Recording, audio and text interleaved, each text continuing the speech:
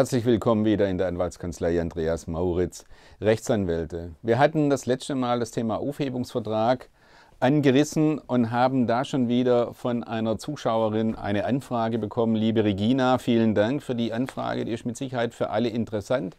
Konkret ging es nämlich um die Frage, muss ich denn überhaupt zu einem solchen Personalgespräch erscheinen?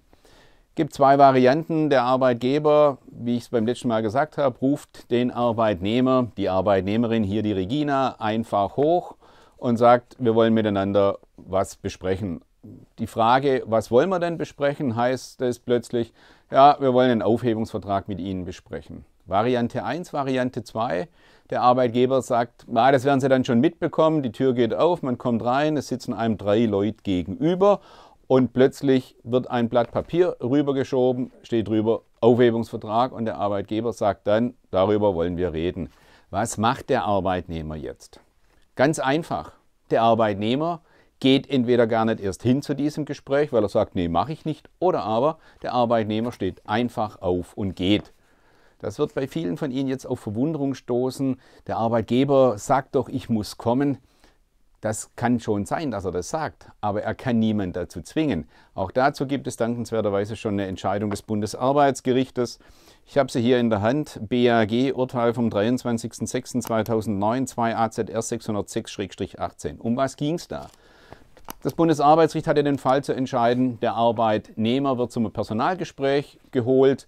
Dort soll er mit dem Arbeitgeber Verhandlungen darüber führen, dass er, also der Arbeitnehmer, auf Gehalt verzichtet. 13. Gehalt, Urlaubsgeld, was auch immer.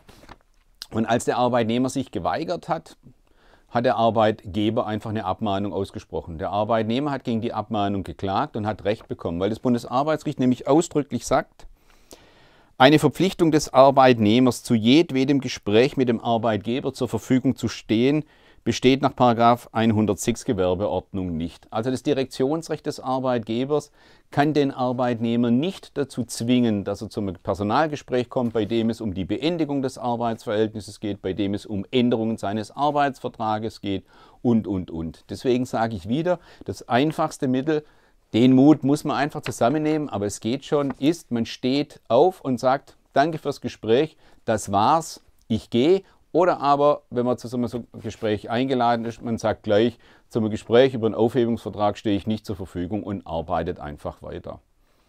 Wenn Sie sonst noch irgendwelche Fragen zu diesem Thema haben, einfach unten wird es wieder eingeblendet. Stellen Sie die Fragen, ich beantworte sie gern. Es sind viele spannende Fragen, die ja immer wieder kommen. Ich denke, die sind für alle durchaus wichtig.